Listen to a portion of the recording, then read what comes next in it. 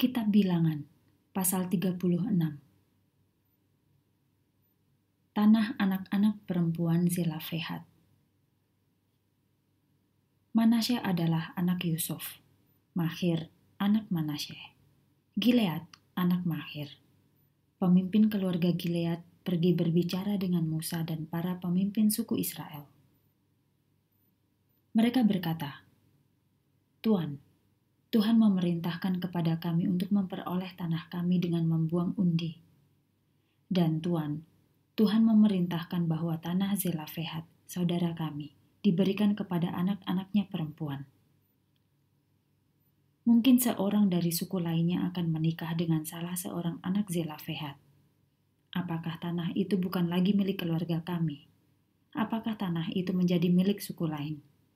Apakah kami kehilangan tanah yang kami peroleh melalui undi?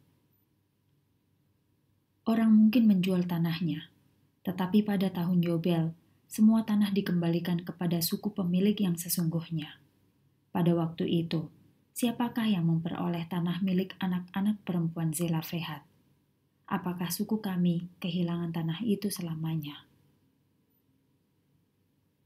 Musa memberikan perintah ini kepada orang Israel perintah ini datangnya dari Tuhan. Apa yang dikatakan suku Yusuf adalah benar. Inilah yang diperintahkan Tuhan kepada anak-anak perempuan Zelafehat. Jika kamu mau mengawini seseorang, kamu harus mengawini orang dari sukumu sendiri.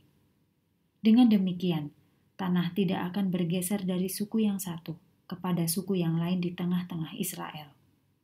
Demikian setiap orang Israel akan tetap memiliki tanah nenek moyangnya.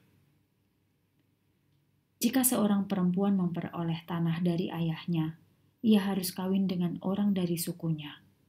Dengan cara itu, setiap orang menjaga tanah milik nenek moyangnya. Jadi, tanah tidak dapat dialihkan dari satu suku kepada suku lainnya di tengah-tengah orang Israel.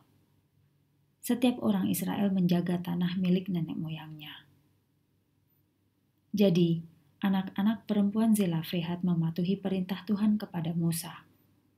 Anak-anak Zelafehat, Mahla, Tirza, Hokla, Milka, dan Noah menikah dengan saudara sepupunya dari keluarga ayahnya. Suami mereka adalah dari kelompok keluarga Manasye. Maka tanah mereka tetap tinggal dalam kelompok keluarga dan suku ayah mereka. Jadi, Itulah hukum dan perintah yang diberikan Tuhan kepada Musa di lembah Yordan di Moab, dekat sungai Yordan di seberang Yericho.